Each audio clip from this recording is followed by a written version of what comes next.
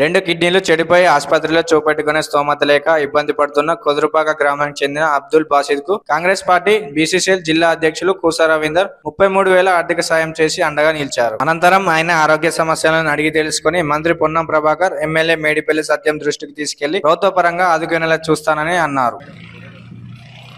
మాది కొద్దిపాటి గ్రామము. మా భర్త పేరు అబ్దుల్ వాసిదు నా పేరు అఫీజా మా ఆయనకు పది పదిహేను ఏళ్ళ కిడ్నీలు ఖరాబ్ అయినాయి. ఇప్పుడు ఈ రెండు మూడు నెలల నుంచి మొత్తం ఖరాబ్ అయింది. మాకు డబ్బులు పెట్టుకుంటానికి అయితలేదు అయితే మాకు కూసు రవీందర్ సార్ ముప్పై మూడు వేలు సాయం చేశారు. మాకు ప్రభుత్వం ఆదుకోవాలని నీలోజిపల్లి గ్రామంలో అబ్దుల్ బాసిద్ అని కుదుర్పాక వ్యక్తి దాదాపు ముప్పై నుంచి ముప్పై ఐదు సంవత్సరంలో స్వీపర్గా పనిచేసినాడు. నాతో పాటు ఎంతమందికో ఓనమాలు దిద్దిచ్చిన మరి ప్రథమ గురువు మాకు మరి అతని ఆరోగ్యం పరిస్థితి రెండు కిడ్నీలు ఫెయిల్ అయి చాలా అవస్థలో ఉన్నాడు.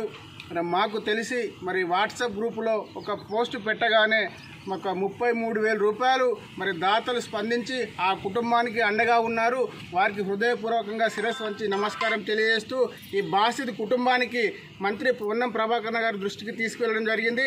అలాగే చెప్పదండి ఎమ్మెల్యే మేడిపల్లి సత్యమణ గారి దృష్టికి తీసుకోవడం జరిగింది. వారి కుటుంబాన్ని ప్రభుత్వ పరంగా ఆదుకుంటాం.